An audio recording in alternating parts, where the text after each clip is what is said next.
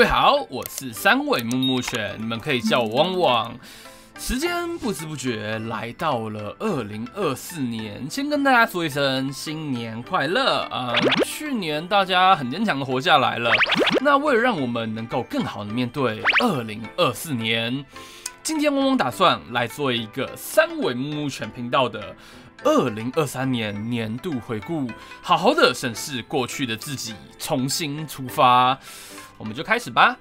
为了二零二三年的故事开端，我们必须先把时间推移到二零二二年。由于在二零二二年时，汪跟伙伴们把伊甸酒经营的有声有色，并且汪与怡香宝有所往来，在二零二三年年初的时候，促使了怡香宝一年一度的新年红白对抗活动，跑来询问是否能借用伊甸饮酒的地图档制作一个外传活动地图。没错，拍片。伺服器与日式类 RPG 伺服器伺服器级的超大型联动，而在这个联动中，我们的四福煮肉酱他成为了最大的受益人，他所建模的材质包被编入了伊香宝的特产装备中，他超自豪。与此同时，汪汪也跟我一直有往来的好兄弟那个麦块模组重度成瘾者小白，初次一起在同一个模组伺服器中一起连载了长篇模组系列，有灾变思潮的史诗级阿白白，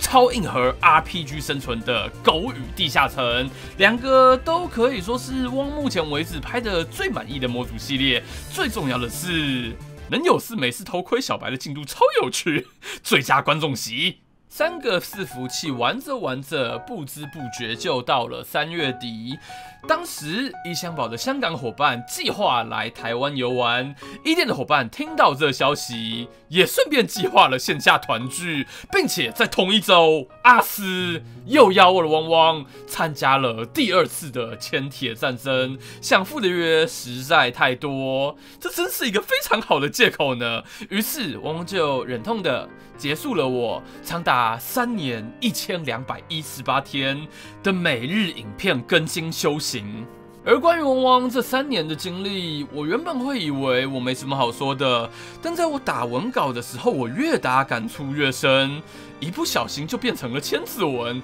因此还请各位留给汪汪这部影片超过我二零二四站的喜欢。如果各位还想听更多老汪汪讲古、分享经历的影片，我们终于幸存到二零二四年了。达标这个战术，我们就来另外做一部讲坛影片，来把汪汪这三年来的日更新境变化分享给各位。紧接着四月，Minecraft 一点二零的更新情报越来越明确了。由于一点二零的玩法变化之大，一点的伙伴们开会讨论，最终决议要太换世界，让一点饮酒的地图迈入历史。汪也来这时邀请了我的老朋友巧克力作为最后的压轴嘉宾，见证了一点饮酒的最后景色，还给他看了一把酷酷的红色斧头。一点小伙伴们不知为何都超爽。在一切告一段落的五月，红月突然又得到了神秘的宇宙启示。对，有他每年都会突然精神振奋个这么一两次，但也不算坏事啦。在一点二零改变前，他紧急号召了一个一点一九红月接力生存，由汪汪接下了第四棒。而这次的接力生存，也由于汪汪不再有日更压力。我完成了我今年最满意的一部影片，使出浑身解数的九十九天盖狗屋生存，并采取了影片中的片段，第一次的尝试自己做了 shorts，也就是那个如何 Minecraft 盖狗屋，获得了四十三万的观看量，也算是第一次跟大伙放出了消息，表明了我其实超想做 shorts，我现在终于有空了，我们来开搞吧。之后六月一点二零正式来临，一点除了重启世界外，还加入了许多新伙伴，有老朋友的尼亚斯小妞罐罐，超级 Minecraft 新人，老陈玩玩一群，跟 VTuber 有老练 Minecraft 背景的 VTuber 三毛与八八佑哥，跟片头推荐进来的新人艺林。这边我必须好好凑一下片头，他进来的是一个真正的 m i c r a f 新手啊！我我不讨厌 m i c r a f 新手，我要先说，但是把别人带进来，又不带别人玩，结果新人有事都跑来跟我求救，有够不负责任！我真的很想掐死他。呃，再题外话一下，嗯，最近红月的练材生成完结了哈，之后的影片呢，他打算不上字幕，他的字幕师蹦蹦叉就失业了。红月作为事业补助呢，把他抓进一店拍片，让他自力更生。所以我说啊，红月，你会好好照顾蹦蹦茶对吧？之后不会变成我要照顾他对吧？对吧？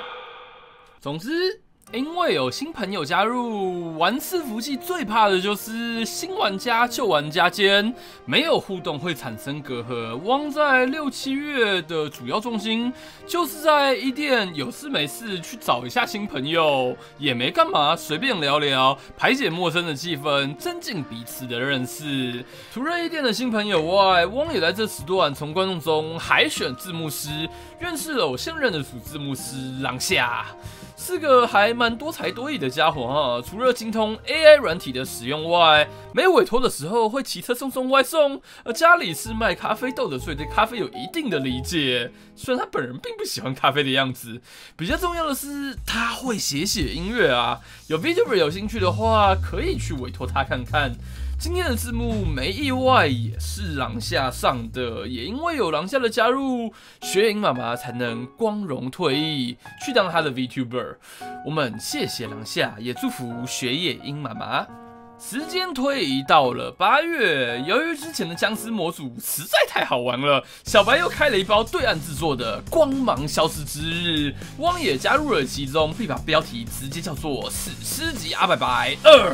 中途还拉了回过麦块夫的一点新伙伴，超喜欢枪战游戏的尼亚斯，一起到小白的伺服器多人混战，蹦出了更多的小故事。其中最特别的是，因为汪玩模组的方式可能是格外的奇特，引起了模组包作者伊布的关注，被作者塞了很多旧版尚未修改的 bug 资讯，变成了汪的排片题材哈。又由于《光芒消失之日》是个有完整剧情的末日生存模组包，还从伊布那边得知到许多模组包续作剧情的制作计划，算是个还蛮特别的体验呐。有兴趣了解更多的话，可以看看《汪死尸级阿百白二》最后一集的置顶留言。同样也是八月，红月的接力生存完结了。红月立刻执行了他第二个原定的计划，一点二零无限制接力生存。顾名思义，啊，你想干嘛就干嘛，要开创造，要打指令，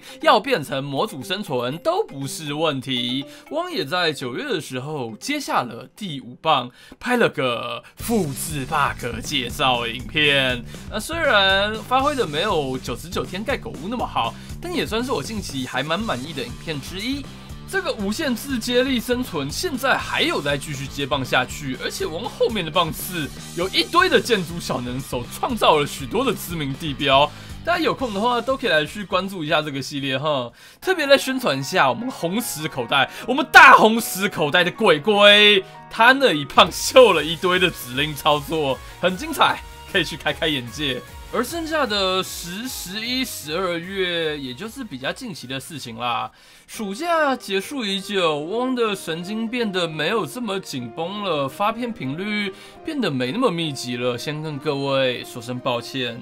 大多心思都放在现实生活上了，包含了汪汪在计划要买新的电脑，但我房间空间囤积了我日更三年累积下来的包裹。